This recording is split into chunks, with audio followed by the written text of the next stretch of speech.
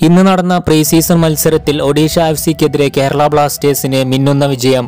ഒന്നിനെതിരെ രണ്ട് ഗോളുകൾക്കാണ് ബ്ലാസ്റ്റേഴ്സ് ഒഡീഷ എഫ് സിയെ പരാജയപ്പെടുത്തിയത്.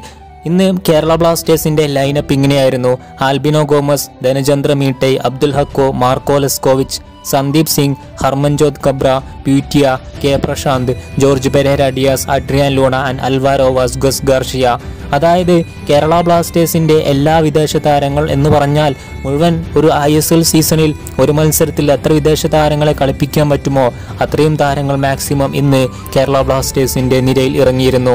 ഒഡീഷ എഫ് സിക്കെതിരെ മിന്നുന്ന വിജയം ഒന്നിനെതിരെ രണ്ട് ഗോളുകൾക്കുള്ള തകർപ്പൻ വിജയത്തോടെ ഐ എസ് എല്ലിലെ ആദ്യമായി ഈ സീസണിൽ പ്രൊഫഷണൽ ക്ലബിനെ ബീറ്റ് ചെയ്യുന്ന ക്ലബ്ബായി കേരള ബ്ലാസ്റ്റേഴ്സ് മാറിയിരിക്കുകയാണ്.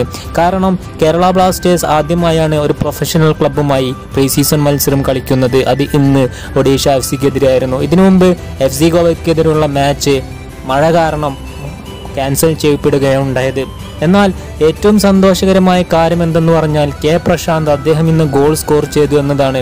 ഒരുപാട് വിമർശനങ്ങൾ അദ്ദേഹം നേരിടേണ്ടി വന്നിട്ടുണ്ട്. എന്നാൽ അതിനൊക്കെ ചുട്ട മറുപടി കൊടുത്തുകൊണ്ട് ഒരു ഐ എസ് എല്ലിലെ പ്രൊഫഷണൽ ക്ലബ്ബുകൾ ക്ലബിനെതിരെ ഒരു ഗോൾ അടിച്ചുകൊണ്ട് എല്ലാ വിമർശനങ്ങൾക്കും നല്ലൊരു മറുപടി നൽകിയിരിക്കുകയാണ് കെ പ്രശാന്ത്.